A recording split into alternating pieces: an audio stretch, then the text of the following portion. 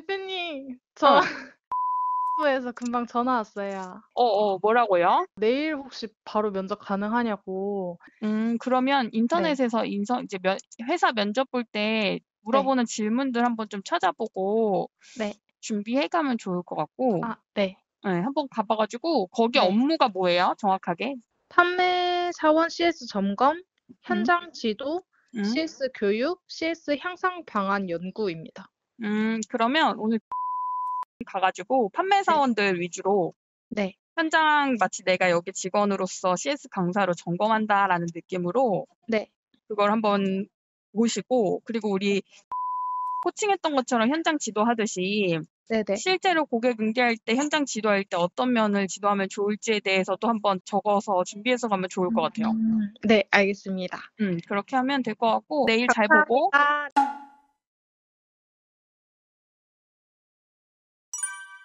안녕하세요. 골목 강사 주연입니다.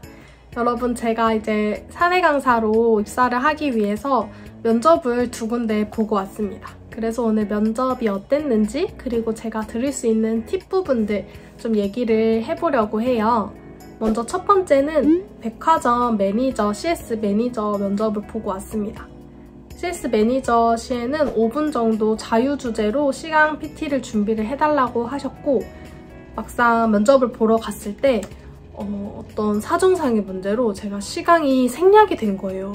원래는 이렇지 않아서 무조건 시강 잘 준비를 해주셔야 되지만 저는 생략이 돼서 어떤 시간 PPT를 띄워놓지 않고 그냥 의자에 앉아서 없는 채로 이렇게 한 3페이지 1분 정도 시간을 한 뒤에 면접을 보았습니다. 면접 시에 저한테 물어보셨던 질문 사항은 어, 사는 곳 위치나 거리, 그리고 어떻게 여기까지 오고 바로 출근은 가능한지 등등 기본적인 질문을 물어보셨고요.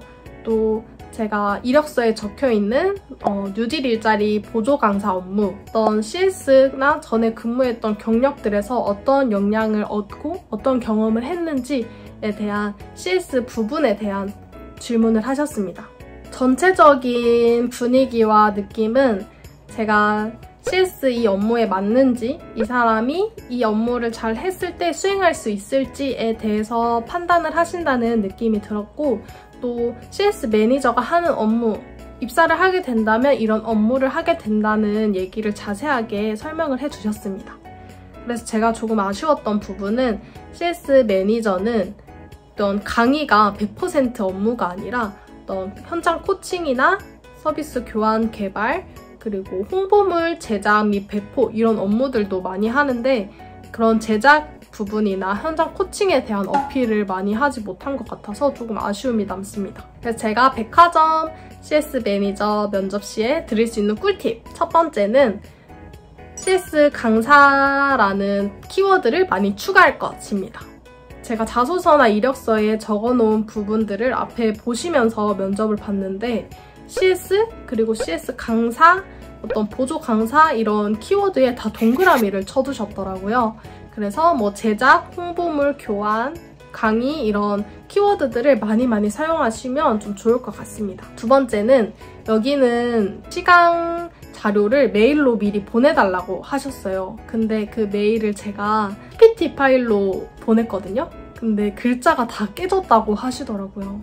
완전 충격받았어요. 제가 혹시나 해서 노트북이랑 USB에도 담아가고 포인터기도 다 챙겨가기는 했지만 그래도 꼭 교환을 보낼 때는 PDF 파일로 보내실 것 아니면 두 개 다 보내도 좋을 것 같습니다. 세 번째는 또 근무를 할 때에 어떤 그 직무랑 거기에서는 조금 한 번 취업을 하면은 조금 오래 근무할 수 있는 사람을 원한다 라고 얘기를 하셨어요. 그래서 좀 오래 근무를 할 수 있고 좀 직무에 대해서 미리 알아서 가시는 게 강의가 주 업무가 아니라 코칭이나 어떤 교환 제작 이런 부분도 같이 어필을 많이 해주셨으면 도움이 될 것 같습니다. 네, 만약 합격을 하게 된다면 2차 면접이 또 있고 그때는 인적성 검사랑 건강검진이 필요하다고 합니다.